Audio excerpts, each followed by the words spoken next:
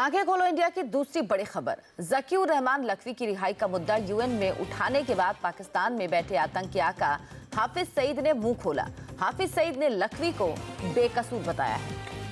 हाफिज सईद ने कहा है कि भारत के पास कोई सबूत नहीं है कि लखवी मुंबई हमले में शामिल था। उसने भारत पर यूएन के ज़रिए दबाव बनाने का आरोप लगाया है। इस बीच पाकिस्तान की पंजाब प्रांत की सरकार ने लखवी की रिहाई के फैसले के खिलाफ अर्जी पर सुप्रीम कोर्ट से जल्द सुनवाई की अपील की।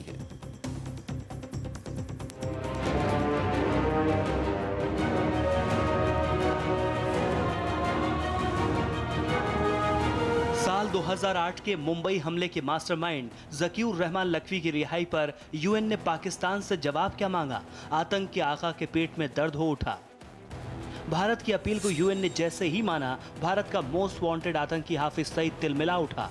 आपको सुनाते हैं लखवी के मुद्दे पर हाफिज सईद ने क्या कहा है। लखवी बेकसूर है।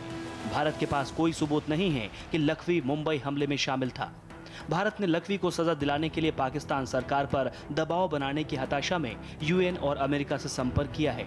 भारत और यूएन को पाकिस्तान की न्याय प्रक्रिया में दखल देने का कोई हक नहीं है। भारत ने पहले भी कभी पाकिस्तानी अदालतों के फैसले को नहीं माना है। लखवी की रिहाई मुद्दे पर भारत के दखल के बाद पाकिस्तान चारों ओर से घिर गया है। पाकिस्तान को दुनिया को जवाब देते नहीं बन रहा है। यही वजह है कि पाकिस्तान के पंजाब प्रांत की सरकार ने वहाँ के सुप्रीम कोर्ट से अपील की है कि वो लखवी के मामले की सुनवाई जल्द करे। लाहौर हाईकोर्ट ने पिछले महीने लखवी को जमानत पर रिहा करने का आदेश दिया था। पंजाब सरकार ने इसे सुप्रीम कोर्ट में चुनौती दी है।